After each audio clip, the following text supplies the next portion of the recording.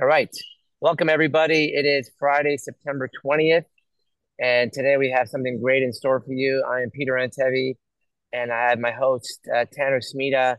Dr. Paul Pepe is with us today, and uh, this is something that we've been following for some time. Um, Rado Raychev is one of a group of several physicians that you can see on the screen.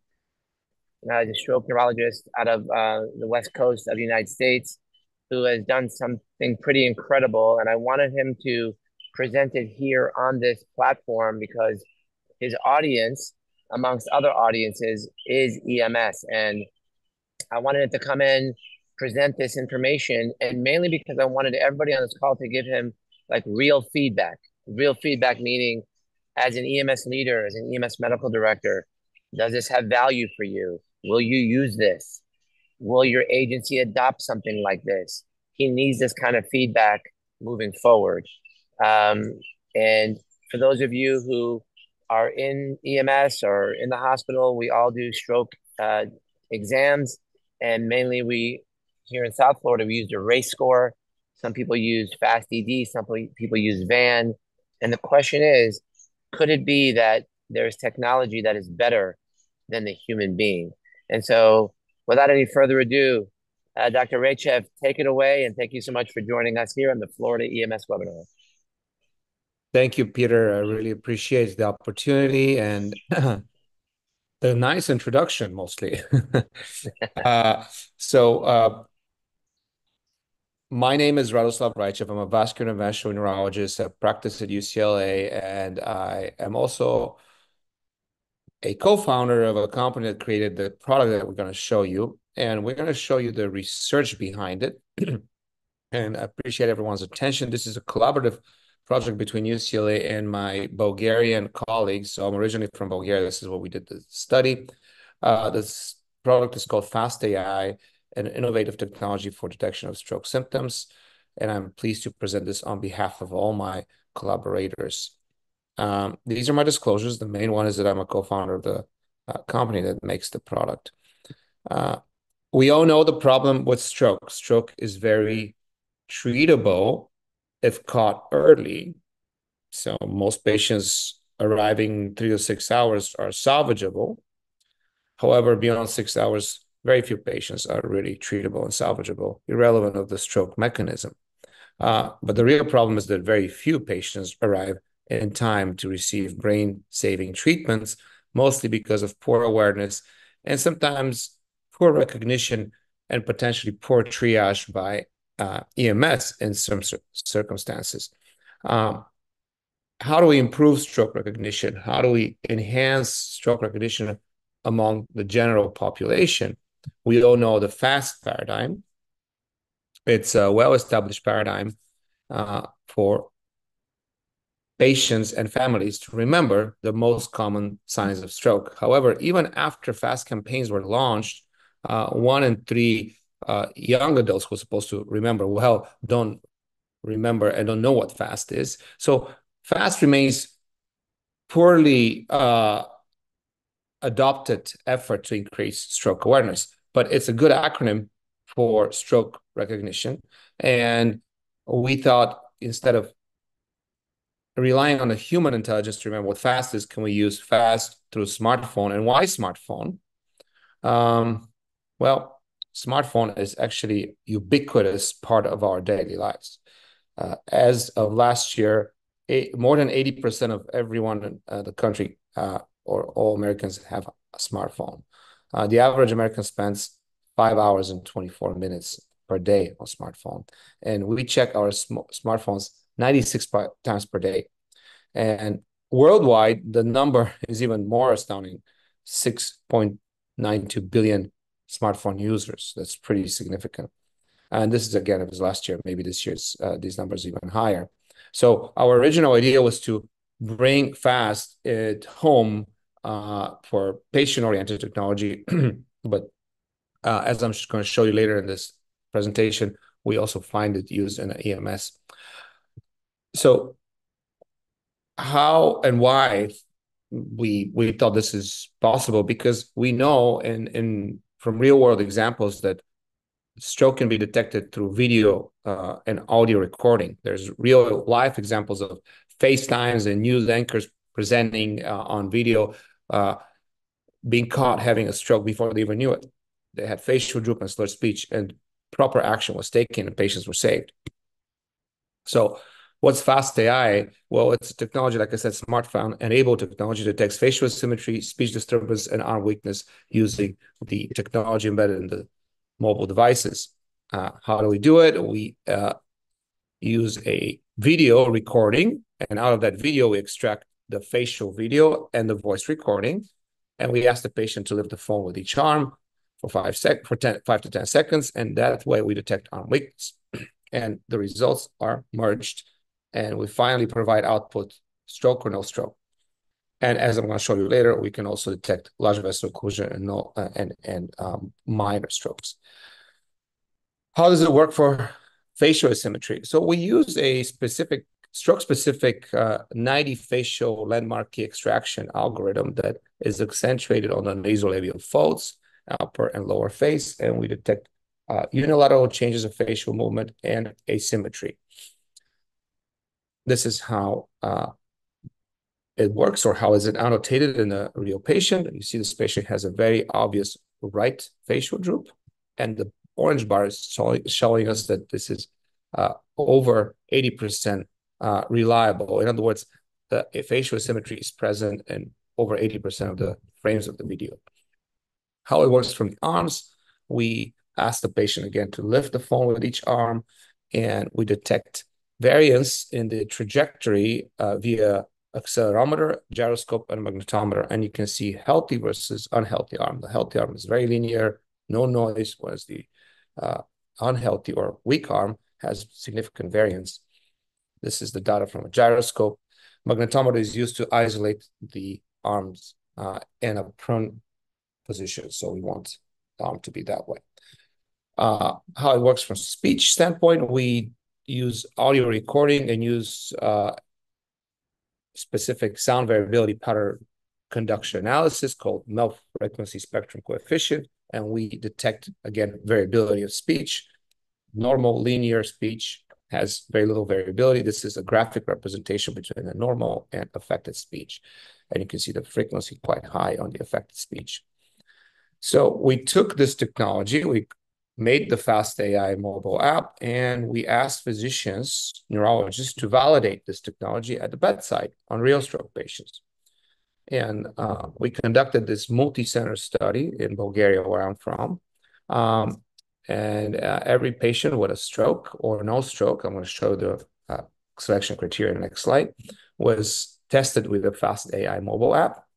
Every clinician annotated the results on every patient uh, at the bedside and also provided neuroimaging data. And we continuously optimized the algorithms uh, as we went along and we validated uh, uh, through this ongoing research, uh, the fast AI technology. And we continue to do it to this date. So far, we have about 500 patients in our data set. Uh, this is, uh, these are the centers that took part of the study. We have five centers. Now, actually, we're up to six. Uh, this is how we validated uh, each output. In addition to bedside validation, we had clinical core lab validation. So uh, neurologist expert, uh, myself and my colleagues were reviewing every test and make sure that the test is valid. And this is how uh, the annotated uh, test looks like from the back end. we see the video output with uh, proper annotation of right-sided facial weakness. The neurologist properly annotated as a right-sided weakness. We see right arm weakness based on the trajectory of the a mobile device uh, in the patient's arms. And uh, we listen to the video and we hear the patient actually has aphasia. And the imaging results are provided by the uh, physician at the bedside. So this is an example of a patient with a left middle cerebral artery ischemic stroke. And again, we're uh, annotating as valid. So uh, what were the selection criteria for this study? So all patients were adults. So we had patients with confirmed ischemic or hemorrhagic stroke within 72 hours of onset we use patients that are relatively mild to moderate with NIH stroke scales of 1 to 15. Uh, so we wanted the patients to have one of the three components of FAST. They must have had facial asymmetry or facial droop slur speech uh, and or myelophagia or arm weakness. We also used a sample of patients that have the most common stroke mimic, Bell's palsy. And in those patients, they had facial asymmetry, but stroke was excluded by imaging. So we wanted to train our AI to recognize stroke mimics from real strokes, just like a neurologist does. And we, of course, had healthy controls. In other words, patients who had suspected strokes but actually had no clinical deficits. Uh, exclusion criteria were patients who are unable to participate at all in the test, were mute or unable to comprehend. Patient had uh, complete hemiplegia, or they had to be able to lift the phone to a certain degree so we can at least describe the weakness. And patient who had symptomatic hemorrhagic conversion with ischemic stroke. So we wanted to keep the data clean. We wanted to have ischemic strokes and hemorrhagic strokes separately. Uh, this is the study population that was used for this particular uh, study. So we, like I said, we have up to 500 patients in the data set, but we analyzed up to 400 patients. Um, most patients uh, were had ischemic strokes. Uh, we had about 10% patients with hemorrhage, with I'm sorry, with Bell's palsy. We had about uh, 70 patients with no deficits, in other words, healthy controls, about 20% of the patient populations. And we use 70-30 split for training and validation. This is a very classic approach in machine learning. So about 70% of patients were used to train the algorithms, and about 30% of these patients were used to validate the algorithms.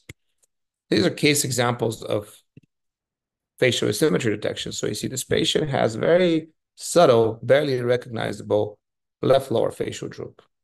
And I think this is where the value of the technology is really uh, when the patient is asked to elicit some facial movements to detect facial asymmetry, the AI is properly picking it and showing us that this on the patient's left side. See the purple bar showing us patient's side, the orange bar is showing us probability of symptoms.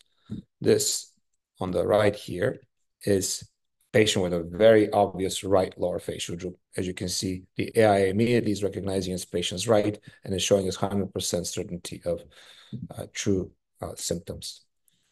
Uh, this is a, our central versus peripheral facial asymmetry. In other words, stroke versus Bell's palsy uh, algorithm. This patient has upper and lower facial involvement.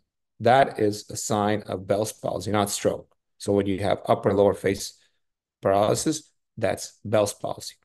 And this patient has upper lower facial weakness that immediately is picked up by the AI as peripheral, in other words, Bell's palsy. Now, this patient has central pattern of weakness or stroke related facial asymmetry, and the AI is recognizing it properly as central or stroke because it's only involving the lower face. This is the final output where we combine all the bars. We have a symmetry bar, we have sidebar, and we have Bell's palsy versus stroke bar, and this patient has uh, left-sided Bell's palsy. Okay, what are the results of our study? Uh, these are uh, the this is the performance of the AI uh, from cross-validation. So we have sensitivity specificity for each modality. As you can see, each modality exceeds 70%. The most sensitive and specific is the facial asymmetry modality. Uh, when you look at Bell's palsy, sensitivity specificity, it exceeds 70%, 78 and 70, still not where I want it to be. I want it to be 99. Uh, so we need just more data. But when you combine each modality and merge them together, the stroke sensitivity specificity of the combined uh, three approaches uh, is above 90%. So it's pretty high. If you take a look at a published data meta-analyses from human performing fast or FAST-ED tests in the ambulance or the ER. So these were paramedics or ER physicians, non-neurologists who are utilizing the fast approach at the bedside. The sensitivity specificity was 77 and 60. So the human data, retrospective human data, is actually not as good as our AI-enabled data. What are the limitations of this study? All fast AI tests were performed by neurologists. Investigators were aware of the patient's diagnosis. They were all neurologists knowing what the patient had. All tests were performed in a homogeneous environment in the hospitals, uh, with a, uh, when the patient is laying in bed, and um, with the same sort of lighting and and so sort of sort of same environment.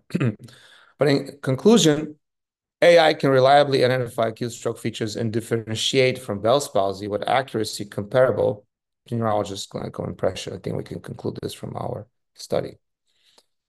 How do we see this technology being used? We someone told me this is an EKG for stroke. I love this. I think this is a great idea to call it that way. The EKG for stroke, clinic clinician aid technology. So, in other words, we're replicating the neurologist in patients in, in at, at your pocket. Um, so using the AI to detect things that neurologists can detect easily. Um, so this could be an EMS and telemedicine environment. Uh, we really think the value is in the patient-oriented technology because essentially any human being can be trained to perform an all EMS personnel. I highly, I, I, I highly respect EMS and I speak to EMS physician, uh, EMS uh, personnel all the time. I talk to paramedics every day, and I believe that paramedics are very good in uh, detecting stroke if they're trained properly. Uh, but the idea here is really to systemize it and do it the same way all the time with the aid of the AI.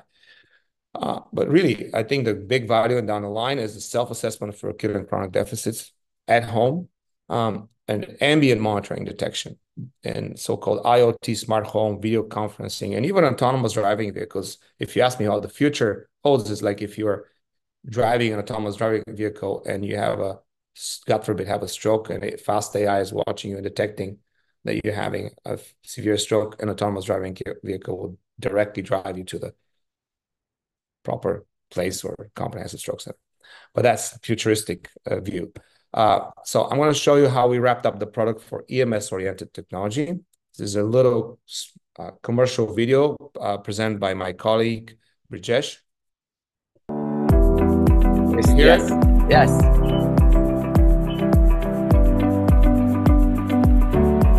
So now we're going to assess a patient's exam who has a severe stroke with right-sided weakness, some expressive aphasia, and able to comprehend commands using the Fast AI EMS app. And so now we're going to start the test and you want to be sure to point the camera at the patient's face and we'll hit start. And Robert, raise your eyebrows and show me your teeth and close your eyes tight. It's calculating the result. It correctly assessed for the site of weakness and identified as a stroke. Now it asks the paramedic to rotate the phone in order to test for speech and be sure to point the phone to the side where the patient is looking, especially if there's a gaze or eye deviation. And we start the test. It instructs the paramedic to hold the phone directly in front of the patient. Robert, please read the following words out loud. Please describe the following picture. It's important to perform through the exam despite the patient's deficits. Please count the number of stars on the following screen. Please follow the dot on the following screen. Okay, and tells the medic to rotate the phone back and it correctly detected the gaze and now we're going to test for arm weakness. There's a sensor on the patient's right wrist that is Bluetooth enabled and it communicates via the Fast EMS app to assess for trajectory of the arm movement in order to reliably indicate whether there is any weakness. We hit start test. We ask the patient to rest their right arm and now lift it up for 10 seconds. And Robert, please hold up your left arm directly in front of you Good. And for a full 10 second count, two, one, zero. Good.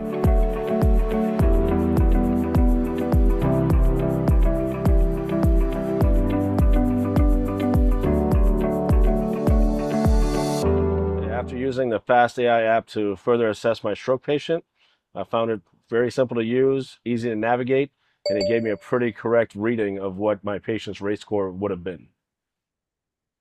All right, Davie Fire Rescue. That's so cool.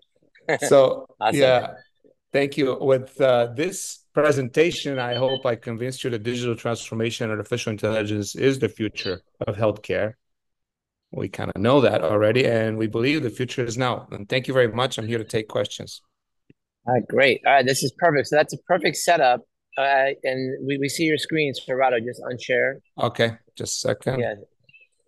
Uh, so th- this is th- this is perfect because you know um, I didn't realize you were going to show the demo, which is great. But so now I would like to um, what what I promised you anyway is that I would at least have people on here that would try to poke holes in in the theory. So uh, I know there's some great people on this call. Um, is there anybody out there? Uh, let's go to Tanner, my partner in crime, and then we're going to go uh, over to any other anybody else. But Tanner, you you saw the research, you saw the application. Um, what are your thoughts on on this app? And Rado, we still see the back of your screen, by the way. I'm trying to figure out how to unshare it. I'm sorry. Let me see. Uh, here, you know what I'll do? I'll I'll I'll take it away stop, from you. Uh, there you go. I'm stopping share. Okay, there we go. Okay. Perfect. You're good now. Mm-hmm. Tanner, you're on. All right. Yeah. First of all, wonderful presentation. Um, I love the idea of kind of a, a standardized, mm. objective way um, to to assess strokes for for EMS patients. Um, I, I, really think it's a it's a brilliant idea. I think that this is a this has phenomenal uh, potential. Um, just just a couple things I was thinking of in terms of generalizability to to EMS and in EMS systems of care. Hmm. Um, is you know, first of all, right, in EMS, we're, we're assessing patients in a variety of environments, right? We find them in, a, in various positions with different light levels. Um, when it comes to um, kind of speech patterns, right, in the United States, even, you know, even though it's primarily English language speaking, there's dialects in different regions um, that, that might lead to some need for, for validation in populations with different accents and dialects. Um, and so, you know, in addition, kind of the population we see um, might be a little bit less clean than kind of the population that this has been validated in thus far, right? We have patients that are altered, patients that have trouble following commands. Um, one thing that I was thinking about is uh, patients with with dentures. Um, sometimes they can have, you know, quote unquote slurred speech, even though they that might be might be their baseline.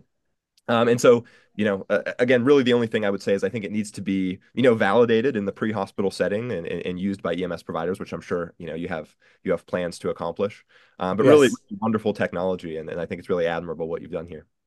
Thank you. Appreciate the feedback. Excellent feedback. Uh, this is we we've thought about all these aspects. It's very valid.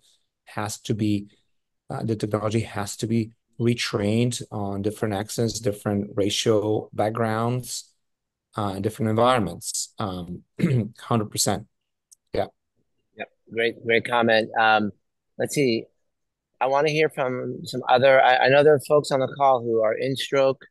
Um, oh, we have we have some questions coming up on the chat here. Sorry, here we go. Sorry, I'm, I didn't see that.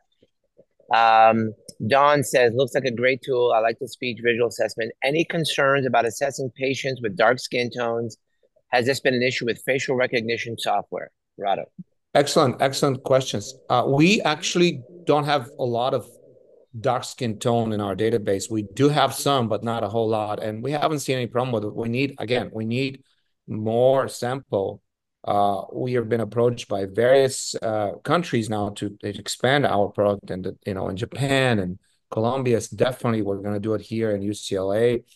Uh, so we we'll, have to use more high, uh, more variable data set to, to retrain it can easily be retrained. Look, once you accomplish a, a way of training the AI, feeding with an annotated data, and that's how machine learning is. You just have to extract the data, annotate classify it, and, and then allow the technology to to receive it and, and, and to you know to use the neural networks to train it again and to provide proper output.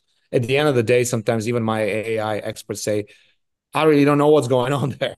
It recognizes it and gives me the data as long as we, we train it properly, right? It's just like the human brain. It's pretty outstanding what AI can do. Uh, that's a great, great question. Great answer. This is a great question from uh, one of your colleagues, Adam, who's now a medical student in the University of Miami Medical School, but he's from UCLA. So, mm-hmm. and he cannot turn on his microphone, but he says he has a great question, which is any opportunities to integrate this with video 911, especially now that Apple just came out. I heard uh, with um, Rapid SOS as a technology in the dispatch center that they will now allow people with an iPhone, sorry, Android users, to actually see your video um, while you're talking to 911. So that mm-hmm. that's actually a fascinating concept, right? Where the telecommunicator says, okay, just hold the phone, do X, Y, and Z, and then they're getting the readout of whether it's yeah. a stroke or not. Any comments on that kind of partnership? I think this is we haven't done this partnership, but this is exactly excellent, excellent uh, scenario where fast AI can be plugged in. Um, our vi- video enabled facial de- uh, symmetry detection is platform independent. You can plug it in any scenario. I can plug it right now into Zoom uh, because it goes to a cloud and it's very easy. Now, if you use an iPhone specific technology, we, we can do that as well because the iPhone um, uh, facial facial analysis is way more more detailed than our 90 landmark uh, landmarks extraction point. Uh, but but but for our standpoint, what we have is pretty sufficient to detect facial symmetry. So the answer, the short answer is yes, 100%. Very nice. Uh, let me bring in Lou Steinberg with a question. Lou, go ahead. Um, well, I have my hole puncher, which you asked for. So, um, as you know, most of our newer cl- cl- clinicians, sorry, are overly reliant on technology, which works until technology doesn't. When your phone doesn't start or whatever, you know the saying, "When in doubt, examine the patient." So, since we've gone to BFAST, a lot of people confuse stroke screening with stroke severity. Raises a stroke severity, but you need a very fast one-minute stroke screening before you set any of this up. Yup, it's a stroke. Let's issue that stroke alert to the hospital. I see this as a better secondary tool. When we get to RACE, when we get to picking up what we might have missed initially, to mm-hmm. confirm mm-hmm. and expand upon that and get to your RACE plus score. Just a side, side note on the Bell's palsy, um, I wrote it in just a recent set of guidelines that if a patient just has facial droop, do the eyebrow test. That pretty much narrows down and eliminates that. Um, so just my comments on that. But again, it's the over reliance on technology. We need to make sure our people know what to do when it doesn't work. Oh, 100%. I, I look, I cannot agree more. I'm a neurologist. My father is a neurologist. My grandfather is a neurologist. And mm-hmm. all of them, um, they were working back in the day when there was no CT scans and they were diagnosing stroke based on clinical exam. You know, would I say that my grandfather would flip and great to see what I'm doing? No, I don't believe so. We're just – enhancing the clinical acumen of everyone out there and retraining them and and and, and helping. I think if you think about it, uh, many people were saying back in the day, well, once we invented the MRI, you don't need a neurologist anymore. The MRI is telling you where the stroke is. Why do you need a neurologist? Right? There's always that clinical bedside uh, art of medicine that is absolutely needed in every patient encounter. And our app is actually uh, made at least the EMS app is made such a way that uh, everything can be overridden by the by the clinician at the bedside. Right, great, great answer. I'm I'm going to pick on a just. We only have a few minutes. I want to pick on a few people because I I, I want to get some pointed questions here for you, Rado. So, Joseph Zalkin, are you there? Yeah. Okay, yeah, I'm here. Okay, so you you ran a very large agency for a long time, Wake EMS, big agency, very well respected. Um, you're still you're still going strong nationally. Um, someone comes to you and says, uh, Joseph, I want this thing in, in Wake County EMS. What do you say as the guy writing the check? well, I want to see the clinical background first. But yeah, just just some key points. Multiple language. I, I know there was a point in the assessment where the patient speaks so we have a large Spanish uh, Spanish speaking population. Variants like that, um, trial for sure. Uh, what ha- uh, a key question I have with AI in general is what happens to these assessments? Are they held for retraining of the system, or do they disappear after the test? No, they they are held for retraining. Yeah, they're they're for retraining. Every patient right now, the way it's done right now is always that there's a clinic clinician annotating it. Okay, so what you saw as an example as a demo is not really actually ready, so it's just a demo, the video. But the real product, the the the data gathering app right now. Every test is annotated by a neurologist because we haven't launched it in in EMS yet. Um, and and we do have a Spanish. You know, you can select eh, when you the the product that we have as a demo. You can select your language, and we have a Spanish and English version.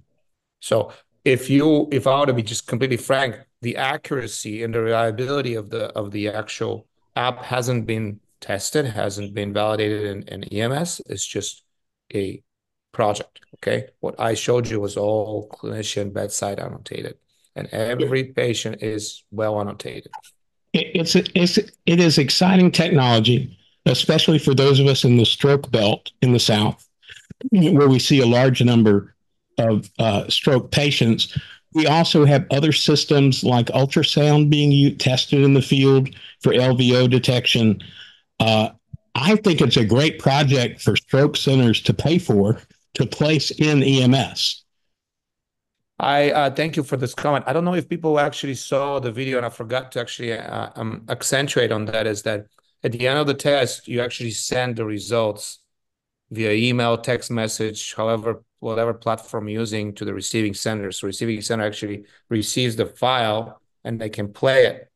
You know, so you can if I'm a, I'm, I'm a honestly, I as a physician would love to get proper identification early and and and hear about it and get to my because I'm a neurointerventionist, I do thrombectomies. To hear from you and knowing that it's a real stroke patient there, I, I can get my door device time in, in 10, 15 minutes if I know upfront. So if I receive a, a good, uh, reliable technology with good um, uh, evidence or video or or some sort of like imaging that I can see that hey, yeah, this is a real patient. I know to go. Yeah. So you're right. You know, I, I uh, in my in my opinion, the hospitals should pay for, but it's it's it's a uh, you know it's a it's tough to to penetrate that. right. The real the real question here for me is, and for everybody on the call is, is there a threshold where this where fast AI can detect strokes to a X percentage accuracy, is there a threshold which beyond that everyone says you have to use it? Because you know we, we know that the RACE in the published studies it was like I think the initial study for RACE was like sixty something percent for LVO for LVO, mm-hmm. only in the 60s mm-hmm. Um, the, all those studies have never shown that it can get up above into the 80s and 90s. And so mm-hmm. I, I I think that if you can have a product that can elevate that number because listen, we're in a very urban environment, but people like in Polk County um, or you know areas where they would have to fly out that LVO, which is what they do today in some areas. You're getting a helicopter. It's a ten, fifteen thousand dollar bill, and they get there and it's a stroke mimic, and you were wrong. so there, there are some very expensive decisions being made, and and if the AI can really perform at a much higher level, I think that's the ROI all of a sudden becomes much more tangible, in my opinion. You know what I'm saying? Yes, yes, I agree. So, uh, okay. So uh, I'm gonna let I'm gonna let Tanner take us out, and then Rado, we're gonna give you the last word. And uh, thank you so much for joining us. But uh, Tanner, take us away, and then Rado, we're gonna give you the last word, and we're all gonna go to Dr. Pepe's webinar. So thank you guys so much. Yeah, th- thank okay. you. Present. Go ahead. Sorry. Uh, right, yeah, say thank you again for your presentation. I think we we all look forward to validation and EMS systems in the United States and, and worldwide. We look forward to to reading your sensitivity and specificity and positive predictive value, et cetera, in the future. Thank you, everyone. Thank you, Tanner. Thank you, Peter. Appreciate your attention. I hope to continue to be engaged with you guys and continue the collaboration. I appreciate your time. Thank you so much. Well, the fact that you use Davie Fire Rescue, you're you're in. We're gonna we're gonna continue to. Uh, and, and in all seriousness, we have a very big community of people who you know in EMS. Everybody wants to do the right thing. We want to do the best for our patients. We want to have the best outcome. So if you need anything from us, let us know. We're always here for you. Thank, Thank you, Rado. Thanks, Thank everybody. Uh, Tanner just put the uh, link in the chat for Dr. Pepe's webinar. Uh, I'm going to join that remotely as I get back into the car. Uh, that was great. Thanks, everybody. Appreciate it.